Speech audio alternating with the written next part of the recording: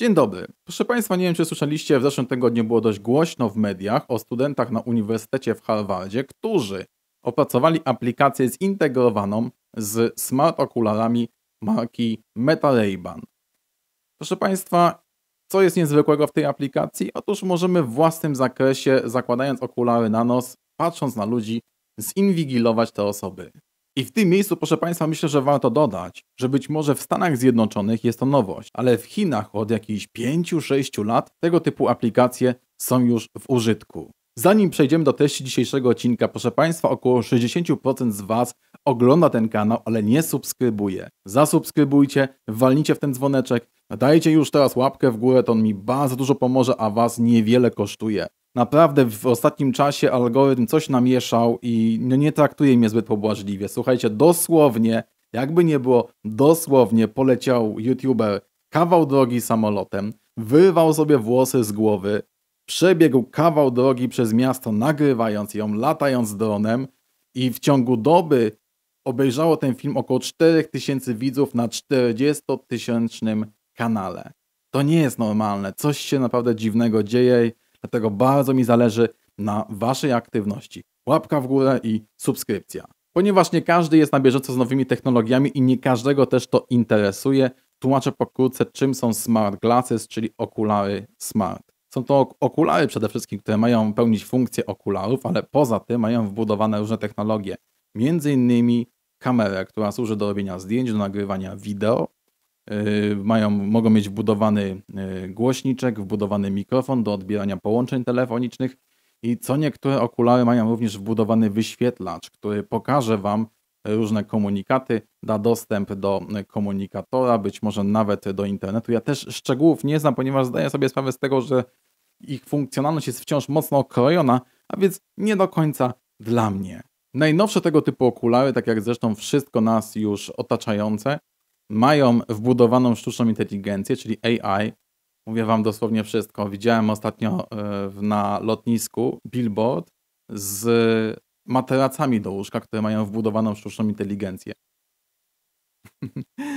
w każdym razie macie asystenta. Macie asystenta AI, z którym możecie porozmawiać, któremu możecie zadać pytania, poprosić o wyszukanie informacji, na przykład spojrzeć na roślinę. Asystent ten zrobi zdjęcie, powie wam, co to jest za roślina, jak ją podlewać. Możecie, nie wiem, w kuchni też dobrze to wykorzystać, patrząc na przykład na blat, na którym leżą warzywa i inne składniki, zapytać się, ile te składniki mają kalorii, jaką potrawę przygotować, poprosić jakiś przepis, żeby was pokierował właśnie, razem z wami przygotował kolację. Na zachodzie, w zachodnim mainstreamie wydaje mi się, że przede wszystkim dominują okulary produkowane przez Microsofta, przez Apple. Apple chyba nie ma okularów, Apple ma tylko, zdaje się, gogle, ale to mniej więcej to samo. E, oraz produkty e, wydane przez Facebooka, czyli Mark Zuckerberga z którego w tym przypadku właśnie skorzystali studenci z Harvardu. Wydaje mi się, że w Chinach rynek smart glassów jest nieco bardziej zróżnicowany. Mamy tutaj, jak się nazywają? X-Ray chyba, czy X-Real po angielsku, INMO, też taka dość duża firma. Nagle weszła w mm, ten, ten świat wirtualny. No i oczywiście Meizu, Huawei i Xiaomi również dostrzegają w tej kategorii produktów przyszłość. Okulary te dzielą się właściwie na dwie kategorie. Jedna to są gogle, czyli takie dość duże, ciężkie do użytku domowego, które są w stanie zabrać Was w zupełnie inny świat. No i druga kategoria, w której ja uważam, że jest również e, duża przyszłość, przede wszystkim w mainstreamie, czyli okulary. Okulary z dodatkiem VR. Wróćmy jednak do naszych studentów z Harvardu. Jak to wygląda i jak to działa? Możecie znaleźć film w internecie, który pokazuje, jak jeden z tych studentów chodzi po korytarzu w szkole, czy też e, gdzieś e, po ogrodzie, w parku, wybiera się do metra i przygląda się ludziom po prostu trzymając te okulary na nosie. W tym czasie okulary skanują twarz osób, na które nosiciel e, patrzy.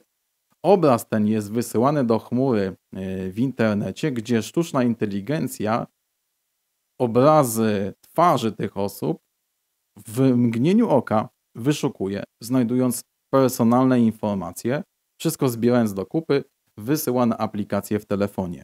Dosłownie po 3-4 sekundach na telefonie ma skondensowane informacje na temat osoby, na którą patrzy, takie jak imię, nazwisko, adres zamieszkania, numer telefonu, y, gdzie ta osoba studiowała, czym się interesuje, czy też gdzie pracuje.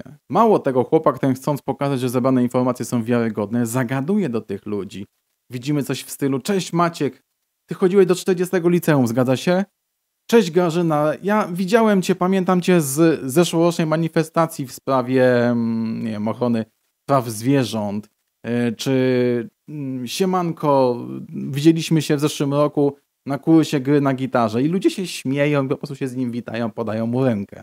Ale dlaczego ja o tym mówię na kanale o Chinach? Proszę Państwa, dlatego, że rzeczywiście w cywilu tego typu aplikacja jest po raz pierwszy raz y, używana. Ktoś pokazuje, że można coś takiego zastosować. Natomiast w Chinach od jakichś 5-6 lat tego typu narzędzia, tego typu technologie mają i używają służby porządkowe. Tak, proszę Państwa.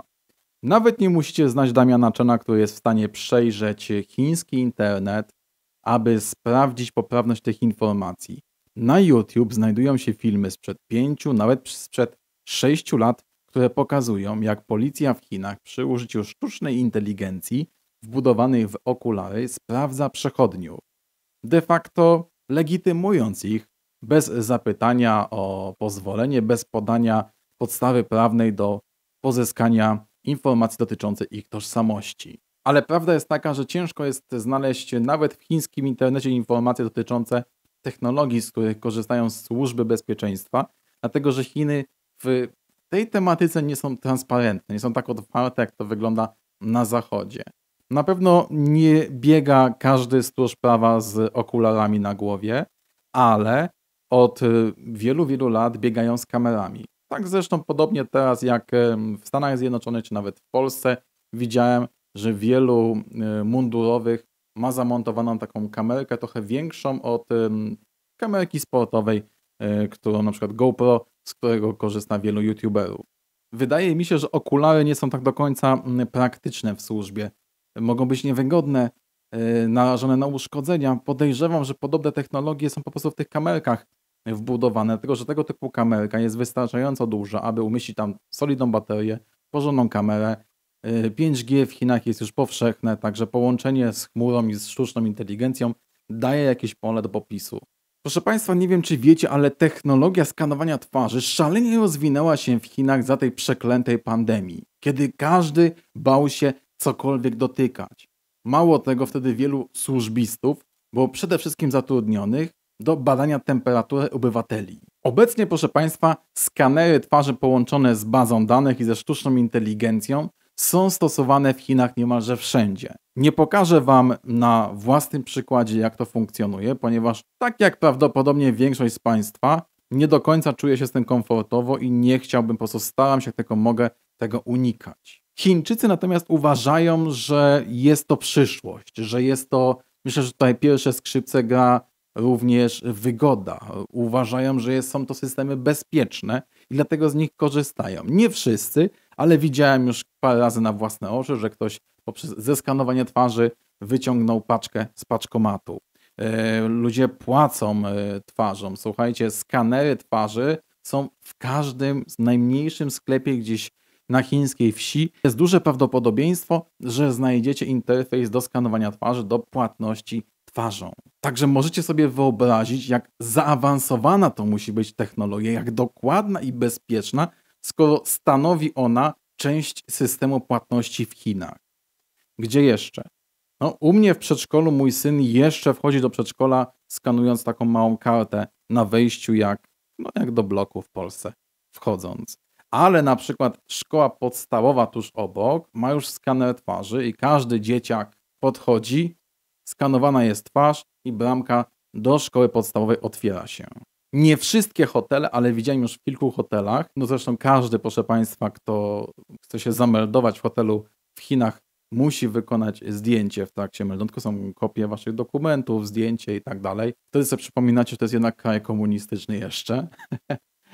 I słuchajcie, aby wjechać windą na piętro, gdzie otrzymaliście pokój, możecie wejść do tej windy i nie, nie przyciskacie żadnych brudnych przycisków, tylko winda skanuje waszą twarz i wysyła was na piętro, gdzie macie pokój. Podobne systemy zresztą znajdziemy również na dworcach kolejowych w Chinach e, wchodzimy na peron jakieś 2-3 minuty przed przyjazdem pociągu, także normalnie trzeba poczekać w poczekalni. Jak nadchodzi, e, nadjeżdża wasz pociąg, to jest informacja, że możecie już przejść przez bramkę. Jak przejść przez tą bramkę? Skanując wasz bilet, czy też skanując wasz dowód osobisty lub też w przypadku cudzoziemców paszport, który jest przypisany do e, biletu, lub też skanując twarz. I tak jak powiedziałem wcześniej, nie widać, aby wszędzie policja biegała w takich okularach. Być może jest to jakaś tam przyszłość, być może nie są to technologie jeszcze na tyle zaawansowane, ale słuchajcie, historia prawdziwa. Kolega Polak mieszkający w Szanghaju opowiadał mi, że jednego dnia, gdy odprowadzał swoje dziecko do szkoły, podszedł do przejścia dla pieszych, na którym stał policjant, policjant, którego nie znał. Policjant, rano kierują dużo policji, można zobaczyć na e, takich skrzyżowaniach, żeby właśnie pomagali trochę w kierowaniu e, ruchem drogowym. Policjant ten miał na sobie jakiś hełm, spojrzał na niego, przywitał się z nim, e, używając jego polskie imię i powiedział po polsku dzień dobry. Czyli możemy wywnioskować, że nie tylko spojrzał na tą osobę, na mojego kolegę, zidentyfikował go, kim jest, e, jakie narodowości i tak dalej. No nie wiem, jakie tam informacje się wyświetliły, ale również Wśród tych informacji wyświetliło się fonetycznie, jak w naszym polskim języku przywitać się z tą osobą. Ciekaw jestem, jakie jest Wasze zdanie na ten temat. Napiszcie proszę w sekcji komentarzy, czy uważacie, że tego typu aplikacje, jak ta napisana przez studentów z Harvardu, powinny być, mogłyby być e, powszechnie dostępne? Czy uważacie, że służby państwowe e, mają przyzwolenie i powinny korzystać dla naszego bezpieczeństwa z tego typu aplikacji.